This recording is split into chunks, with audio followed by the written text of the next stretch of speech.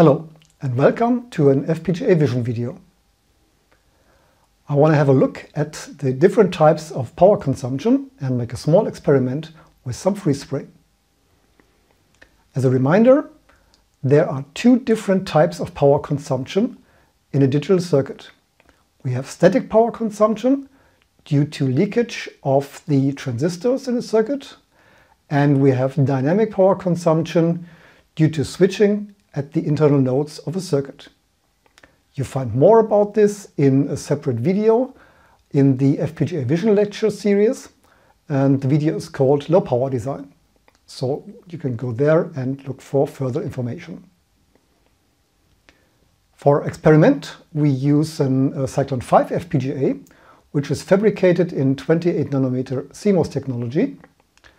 And uh, we will implement a test circuit on this FPGA. This test circuit is a large shift register that takes the input of a video signal. These are 24-bit for red, green, blue color components. Plus we have three sync signals, which are vertical sync, horizontal sync, and data enable.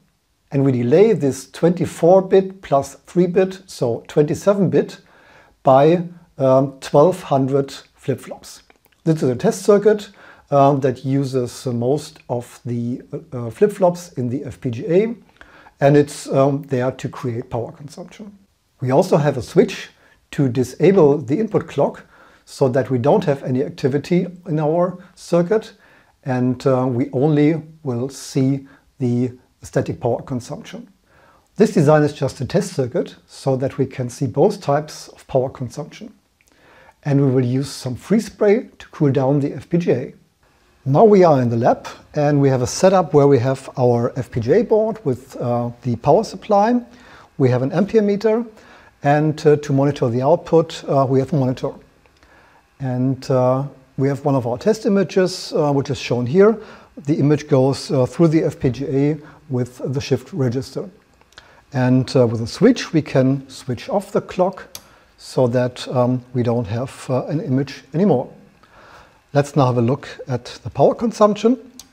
We measure a core current of uh, 153 milliamperes and uh, the supply voltage for the FPGA is 1.1 volt. If we switch off the clock, this changes the core current to 27 milliamps. And now we take uh, the freeze spray to cool down the FPGA and make another measurement. At room temperature, we have about 27 milliamps when we switched off all internal operations. Now we cool down the FPGA, and this goes down to about 19 milliamps, 18 milliamps. We switch back on the processing, and it goes up to 144 milliamps. When we multiply the currents we have measured with the core voltage of 1.1 volt, we get the power consumption. And um, when we subtract total power consumption and static power consumption, we get the dynamic power consumption.